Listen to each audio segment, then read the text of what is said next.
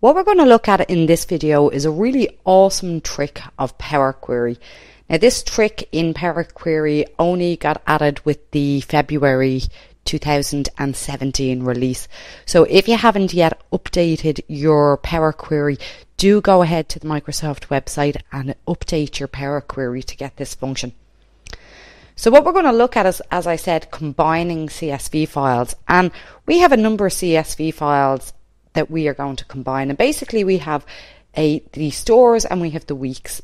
And this will is the sales for store one, week one, and we have the three products that they sell. We have the units that they've sold, and we also have the sales. Now you can imagine you could have multiple stores and you could have a listing of products an awful lot longer than this. But you can combine, if all your stores send you a CSV file, you can combine these CSV files together very, very quickly. And once you set up the query, it's evergreen, you can continuously use it. So let's get stuck in and have a look. I'm just going to close this Excel file and open a blank file. And in Power Query, I'm going to go to File From and we're going to go from a folder. So this will allow us to connect to a folder of data. So it's going to my folder. I'm going to select OK because I've put it in my path. And this is going to bring up this combine binaries dialog box. Now you were previously able to do this very easily in Power BI desktop and this is quite new to Power Query. So what we have is we have binaries, we have the store name, we have the file type and we have details then about the files. So what we're going to do is we are going to edit this query. And when we edit this query, we are going to straight away from the source, you see these binaries, we have this these double arrows pointing down. We're going to click them. And that's going to evaluate the query and it's going to open up the binaries and it's going to keep the source name. Now, keeping the source name means it's now after keeping the file name. So we can do some data transformation now on this set of data. So what we've done is we've looked at each CSV file.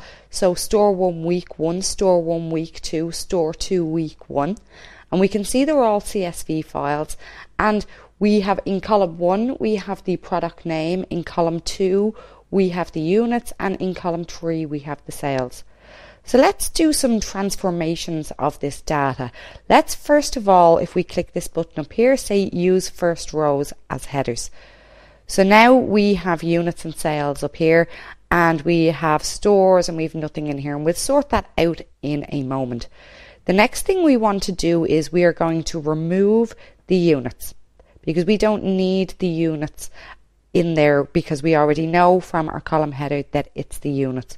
So we have removed the rows that have the units. Let's now transform this store one week one and we will split this column and we're going to split it, split it by delimiter and we are going to do a custom and we are going to take the underscore at the leftmost and select OK. So now what we have done is we have split this so we can now identify by store and we can nearly identify by week. So what we can do is if we select this column for the weeks and if we go to transform and in transform we want to replace values and we're going to replace .csv with nothing and select OK. So now we have store one and we have the week numbers.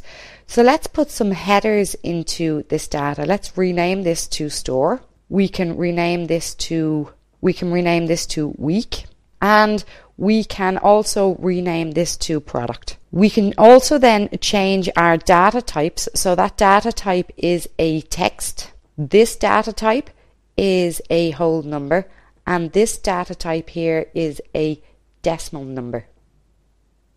So now we also have our data types correct. So if we go to home, close and load, close and load, this has now combined all of the three CSV files into one file that you can put into a pivot table and you can then begin to work with this data if you wanted to work with it. Now that seemed like quite a lot of steps for something that maybe you could have done a copy and paste in Excel with. But the thing is, you now have this file set up and you also have a folder where your CSV files are. So let's go jump to our folder where our CSV files are and we have three files in there. Let's say now our store two week two comes along and we can pop the file in there as soon as it gets emailed to us.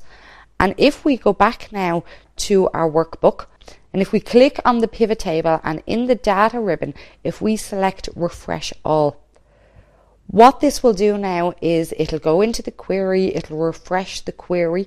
The query will go to the folder and we'll find an extra file in the folder. We have now found store two, week two, and it's updated your workbook in Excel straight away with no additional steps. So, yes, there are some steps at the beginning to set up the folder. Make sure all your CSV files are kept in the folder. Make sure your CSV files are named correctly. And if they're all named correctly and the names are all uniform, it's very easy to make these transformations to CSV text files in Excel using the new Power Query Update combine binaries. Hi, my name is Paula and thanks for watching. Here at the Excel Club, I offer online Excel and Power BI courses for all levels. We have free courses to get you started and premium courses on more advanced and specialised Excel and Power BI training. You can access these courses on the website and from our apps and there's links below the video so please do explore them. We also offer custom Power BI and Excel solutions so if you want to create custom financial models or a Power BI dashboard, then I can help you. You can find contact details also on the website. If you haven't already, I hope that you'll take the time now to give this video the thumbs up, like and subscribe. Don't be shy, feel free to comment below and say hi. See you next time. Bye now.